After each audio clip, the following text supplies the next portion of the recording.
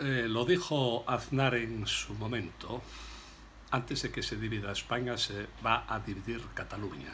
Y ahí lo tienen, la CUP, los, los comandos de la CUP eh, pues, recorren Barcelona y amenazan esta tarde con intensificar su, su actuación pues, frente a los, a los nacionalistas, digamos, no tan radicales.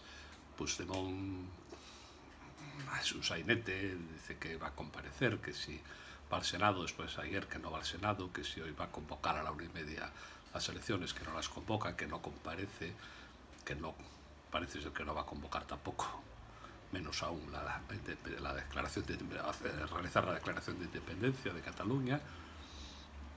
Cataluña está rota, está muy rota, y no solo por la CUP y los nacionalistas, sino por el otro gran bloque de, digamos, eh, españolistas, catalanes leales a España, que son pues un poco más de la mitad.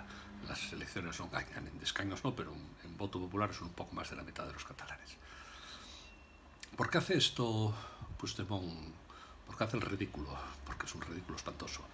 Pues porque está negociando, o ha negociado. ¿Con quién? Con la CUP, no, con Rajoy.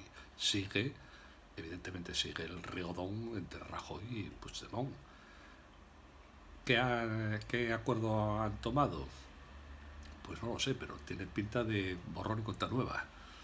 Ni tú declaras a independencia, ni convocas elecciones, ni yo aplico el 155. Y seguimos, patada a seguir. Otra semana, otras dos semanas. A ver, tiene pinta de, eso. Pero la verdad es que también con este baile que cada media hora cambia, cambia las cosas o parece que cambian, es casi imposible aventurar nada. Yo apuesto por lo de siempre. Hay un pacto, el pacto viene muy atrás.